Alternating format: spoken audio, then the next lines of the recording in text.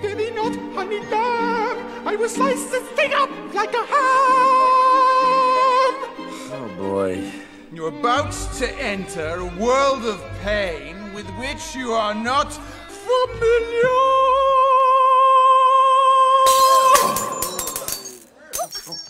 Well, it can't be any more painful than the lousy performance you're giving. Prepare, foul beast. Prepare, foul beast. Your time is done. Ooh, if you don't mind, could you kill me and then sing? Be quiet! Oh, come on, I'm just having fun with you. That's actually a very nice leotard. Oh, thank you. Do they come in men's sizes?